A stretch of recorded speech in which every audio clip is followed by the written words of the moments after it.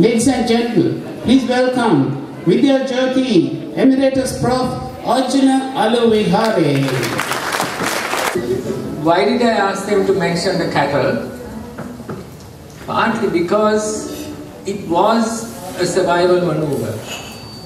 And I think to have to use different things outside the box is fair to mention, especially in the week in which Steve Jobs, who was a completely out of the box person, has passed away.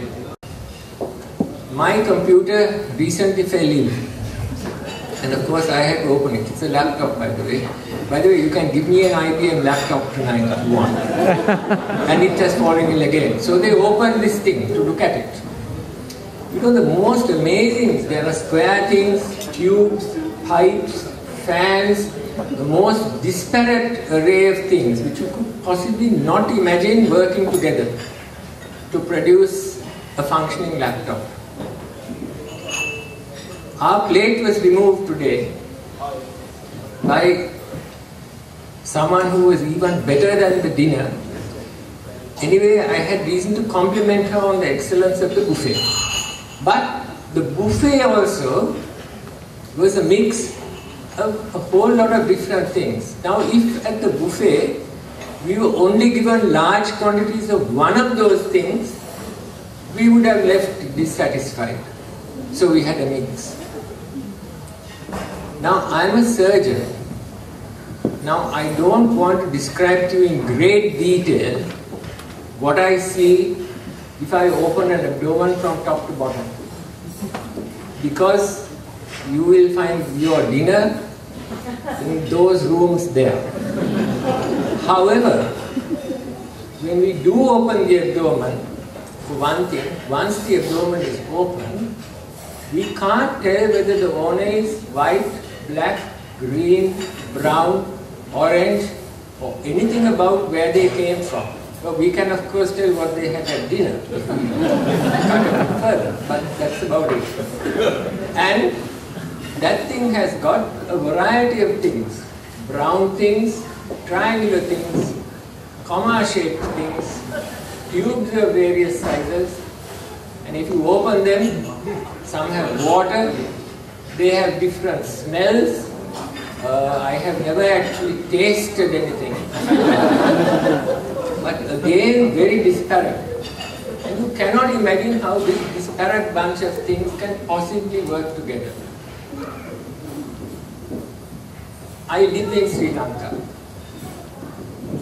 And I'm surrounded by people of all kinds of different beliefs, mixtures, colors, ages, religions, races, genetic patterns, and God knows what else. And they all have to survive in that island next to each other. I joined in the first JVP insurrection. And I, this is not the time to describe various incidents about the drive up to Kandy. When I was Vice Chancellor in 88, 89 and Deputy Chairman 89 to 93, we were in the middle of the second JVP insurrection. And then we had the LTT situation spanning all that time and ending, probably ending relatively recently. We have grandchildren in the country, six of them. They are fertile and hopefully they will produce children who will be of course our great grandchildren in due course. Now, I think like the buffet, like the inside of the tummy, the variety and the, all that lot contribute and have to contribute to the strength of the country rather than its weakness. Now, my request to you, because we are all from a university which is full and of diversity and enriched by the diversity it has. My request of you in Perth is without waiting for another tsunami, try and think and invent the maximum possible number of occasions where all the disparate Sri Lankans in this town can get together and find that they have common ground, even if only to agree that the buffet was excellent. If you can do that in this town, and the information that that has happened in this town, which I am not sure it is part of Australia, but I think politically it is part of Australia, although Europe may not.